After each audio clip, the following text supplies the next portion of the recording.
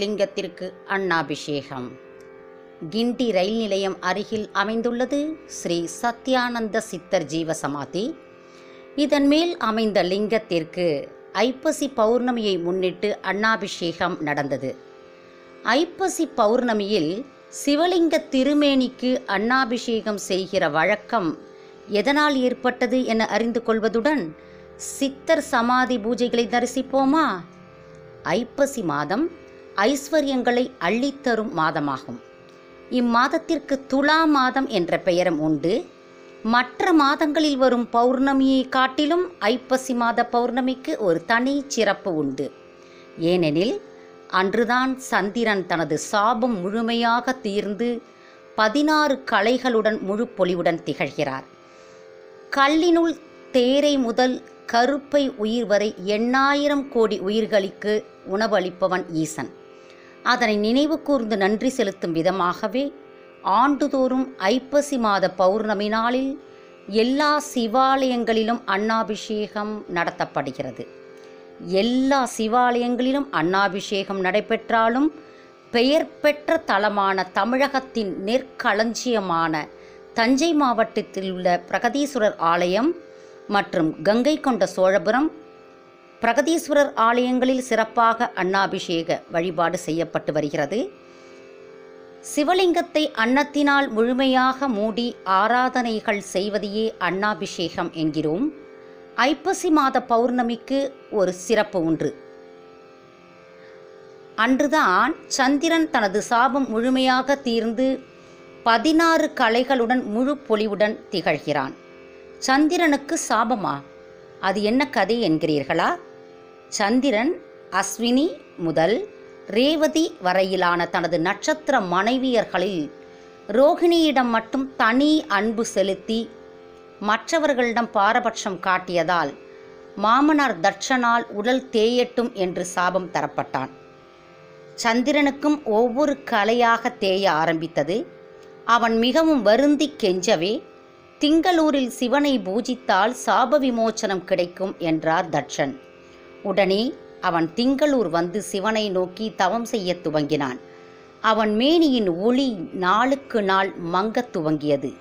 மூன்றே மூன்று கலைகள் மிச்சம் இருக்கும்போது சிவனார் அவன் பால் மனம் இறங்கி அந்த பிறையை தனது தலையில் அணிந்து கொண்டார். அதனாலேயே மூன்றாம் பிறை கண்டால் நல்லது என்கிறார்கள். கொடுத்த வாக்கை மீறிய சந்திரனுக்கு பதினாறு கலைகளும் கிடைக்கப் பெற்றாலும் முழு பொலிவும் வருடத்தின் ஒரு நாள் அதாவது ஐப்பசி பௌர்ணமி அன்று மட்டுமே கிடைக்கும். திங்கள் முடி சூடியவருக்கு மதி முழுமையான ஒளியுடன் இருக்கும் நாளில் சிறப்பு வழிபாடு செய்வதுதானே சிறப்பு. ஆன்மீக ரீதியாக மட்டுமன்றி அறிவியல் ரீதியாகவும் இதற்கு ஆதாரம் இருக்கிறது. அக்டோபர் ஐப்பசி மாதத்தில்தான் நிலவு. பூமிக்கு மிக அருகில் வந்து தனது முழு ஒளியையும் பூமியை நோக்கி வீசுகிறது என்கிறது வானவியல். நவக்கிரகங்களில் சந்திரனுக்கு உரிய தானியம் அரிசி. இதை உணர்ந்த நமது ரிஷிகள் அந்த மாதத்தில் அன்னாபிஷேகம் செய்வது சிறப்பு என்று கண்டறிந்து அதனை நடைமுறைப்படுத்தினார்கள். அம்பிகை பாகன் சதா அபிஷேக பிரியர். அதனால் அவருக்கு பதினோரு வகையான பொருட்களால் அபிஷேகம் செய்வது வழக்கம். அவை தூய நீர் பசும்பால் இளநீர் கருப்பஞ்சாறு சந்தனம் விபூதி தயிர் பஞ்சாமிர்தம் மாப்பொடி மஞ்சள் அன்னம் ஆகியவை. இவற்றுள் மிக சிறப்பானது அன்னாபிஷேகமே. அன்னம் பிராணன் என்றும் அகமன்னம் எனவும் வேதங்கள் போற்றுகின்றன. ஒருவன் எத்தகைய உணவு உண்கிறானோ அதை பொறுத்தே அவனது மனம் இருக்கும் என்கின்றன நமது உபநிடதங்கள். இத்தகைய சிறப்பு வாய்ந்த அன்னத்தை கொஞ்சம் கூட வீணாக்க கூடாது என்பதை உணர்த்தவும் அன்னத்தின் தெய்வீக தன்மையை எடுத்துக்காட்டவுமே அன்னாபிஷேகம் செய்யப்படுகிறது. நீர் நிலம் நெருப்பு காற்று ஆகாயம் என்னும் பஞ்சபூதங்களால் ஆனது நமது பேரண்டம். அண்டத்தில் உள்ளது பிண்டத்திலும் என்ற திருமூலர் வாக்குப்படி நமது உடலுக்கும் பஞ்சபூதங்களுக்கும் தலைவன் சிவபிரான். அந்த பஞ்ச பூதங்களை சரியான வகையில் செயல்பட செய்து உயிர்களுக்கு உணவும் நீரும் குறைவின்றி கிட்ட அருள் செய்த ஈசனுக்கு நன்றி சொல்லும் வகையிலும் நாட்டிலும் வீட்டிலும் எக்காலத்திலும் உணவு பஞ்சம் வராமல் இருக்கவும் இறைவனுக்கு அன்னாபிஷேகம் செய்யும் பழக்கத்தை ஏற்படுத்தினர். அன்னம் என்பது பஞ்ச பூதங்களின் சேர்க்கையால் உண்டாவது. நிலத்தில் விழும் நெல் ஆகாயத்திலிருந்து பெய்யும் மழை நீரின் உதவியால் வளர்ந்து காற்றினால் கதிர் பிடித்து சூரியனின் வெப்பத்தீயினால் பால் இறுகி விளைச்சலை தருகிறது. காற்றின் உதவியுடன் கதிரடித்து எடுக்கப்படும் நெல் உமிநீக்கப்பட்டு அரிசியான பின் மண்ணால் ஆன பானையில் நீரில் இடப்பட்டு காற்றின் துணையால் எரியும் நெருப்பில் வெந்து அன்னமாகி ஆகாயத்தின் கீழுள்ள அனைத்து உயிர்களுக்கும் உணவாகிறது. அந்த அன்னத்தினால் செய்யப்படுவதால் தான் அன்னாபிஷேகம் மிகவும் சிறப்பு வாய்ந்ததாக போற்றப்படுகிறது. ஐப்பசி மாத பௌர்ணமி நாளில் முதலில் ஐந்து வகை பொருட்களால் ஈசனுக்கு அபிஷேகம் செய்து பின்னர் நன்கு வடித்து ஆற வைத்த அன்னத்தை கொண்டு தேவையானால் சற்று நீர் கலந்து அன்னாபிஷேகம் செய்யப்படும். தற்காலத்தில் சிவலிங்க திருமேனி மீது அன்னத்தை வைத்து அவரவர் விருப்பப்படி கண் மூக்கு வாய் மீசை என உருவம் வரைந்து அலங்கரிக்கின்றனர். அதேபோல் அன்னாபிஷேகத்தின் போது அப்பம் வடை உள்ளிட்ட பலகாரங்களையும் காய்கறி கனி வகைகளையும் கொண்ட அலங்காரம் செய்வது வழக்கமாக ஆகியிருக்கிறது. சிவலிங்க திருமேனியின் மேலிருந்து அன்னத்தை வைத்துக்கொண்டே வருவார்கள். சிவலிங்கத்தை மூன்று பகுதிகளாக பிரிக்கிறார்கள். கீழ்ப்பகுதி பிரம்மபாகம் நடுப்பகுதி விஷ்ணுபாகம் இதுவே ஆவுடை. மேற்பகுதி பானம் சிவபாகம். அண்ணாபிஷேகம் சிவலிங்க திருமேனியின் எல்லா பாகங்களுக்குமாக முழுமையாகவே செய்யப்படும். இந்த அபிஷேகம் மட்டும்தான் இரண்டு நாழிகை நேரம் அதாவது கிட்டத்தட்ட ஒன்றரை மணி நேரம் அப்படியே வைக்கப்பட்டிருக்கும். அந்த சமயத்தில் யஜுர்வேத பாராயணமும் ருத்திரம் சமகம் போன்ற மந்திரங்களின் பாராயணமும் நடைபெறும். நாழிகை நேரம் முடிந்தவுடன் அன்னத்தை அகற்றி விடுவார்கள். பின்னர் மீதமிருக்கும் ஐந்து வகை பொருட்கள் கொண்டு அபிஷேகம் நடைபெறும்.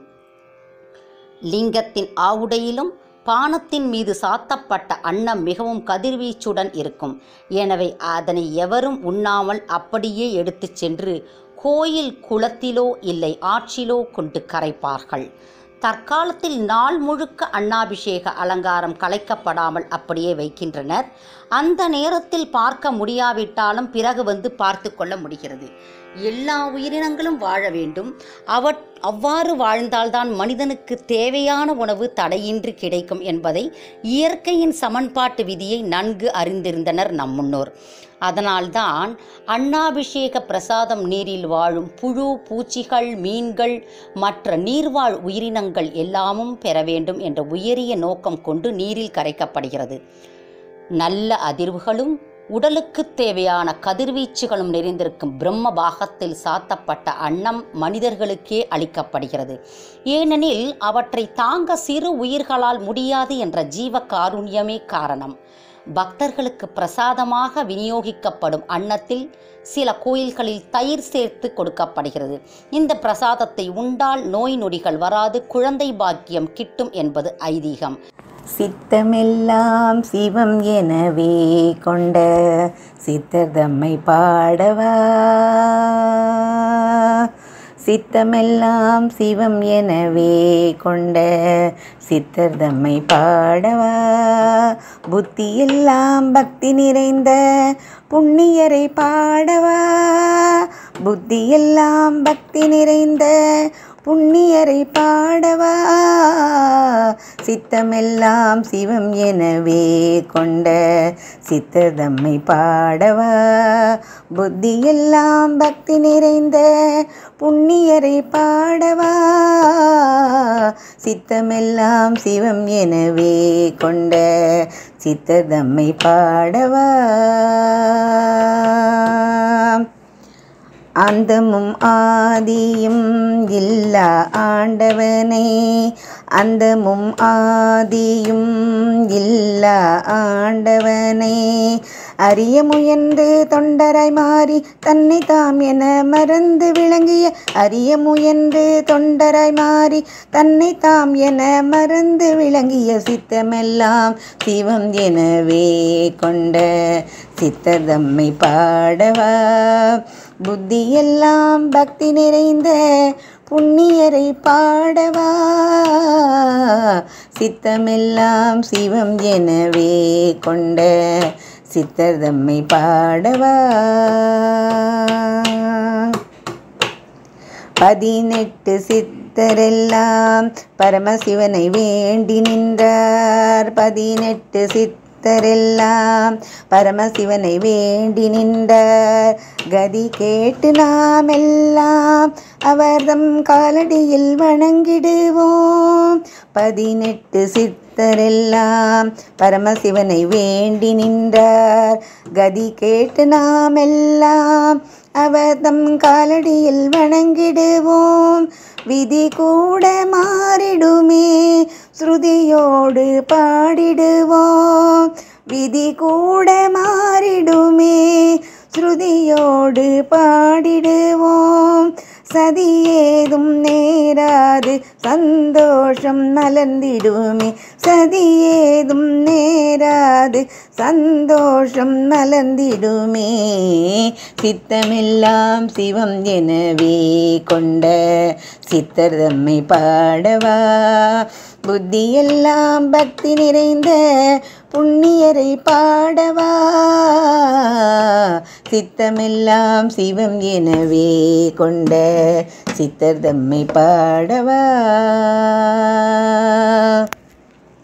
வேண்டுதல் உண்மை என்றால் விருப்பம் தன்னை பூர்த்தி செய்வார்.